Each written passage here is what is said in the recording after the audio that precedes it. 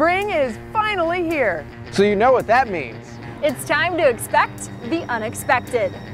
From sunshine to showers. Thunderstorms, even tornadoes. No matter the condition, we are always weather ready. When weather breaks, We're ready for anything. So, you, are ready, for, anything. Okay, maybe I wasn't ready for that. keeping you safe and prepared for all types of weather. That's what matters most. Only on 3.